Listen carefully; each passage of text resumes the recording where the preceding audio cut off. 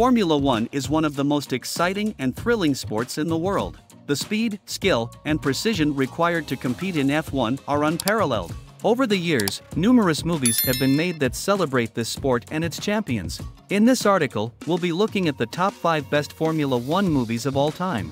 1. Rush, 2013. Rush is undoubtedly the best F1 movie ever made.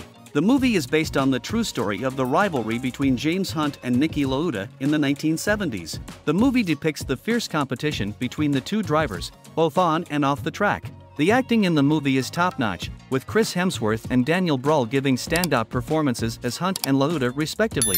The movie also does an excellent job of capturing the look and feel of F1 racing in the 1970s. 2. Senna, 2010. Senna is a documentary that tells the story of the Brazilian F1 legend Ayrton Senna. The movie is a tribute to Senna's life and career, covering his rise to fame, his intense rivalry with Alain Prost, and his tragic death at the San Marino Grand Prix in 1994. The movie is filled with archival footage of Senna's races and interviews with people who knew him best. The movie is a must watch for any F1 fan.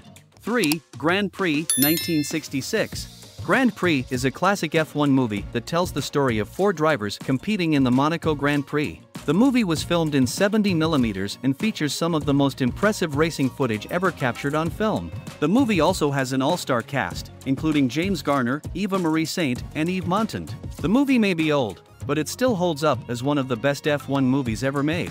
For Le Mans 1971 Le Mans is not strictly an F1 movie, but it is still one of the best racing movies ever made. The movie stars Steve McQueen as a driver competing in the 24 Hours of Le Mans. The movie is famous for its intense racing scenes and its realistic portrayal of the sport. The movie was also filmed during the actual 24 Hours of Le Mans, giving it an extra layer of authenticity.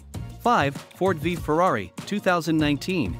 Ford v Ferrari is not an F1 movie, but it is still a great racing movie that is worth mentioning. The movie tells the story of the Ford Motor Company's attempt to build a car that can beat Ferrari at the 24 Hours of Le Mans in 1966. The movie stars Matt Damon as car designer Carroll Shelby and Christian Bale as driver Ken Miles. The movie is filled with great racing scenes and excellent performances from the cast.